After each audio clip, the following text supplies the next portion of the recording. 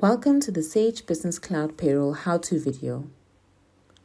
In this video, we will demonstrate how to print the validation report. From your main screen, you will select the relevant cycle that you will be working in. Select Reports. Click on the Tax Reconciliation tab and then click Validation Report. Click Preview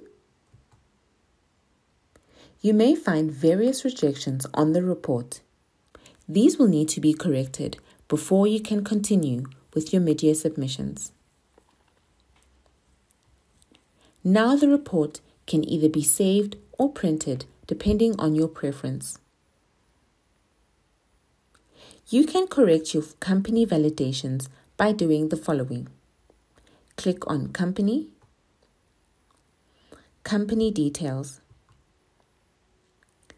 when you click on IRP5 validations, a pop-up will appear, and the required validations will also become highlighted in red, so you can easily find and complete these fields.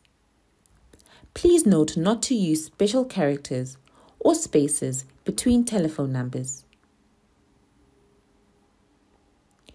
The same can be done with the employee validations. To correct these, you can click on Employee, Employee Details.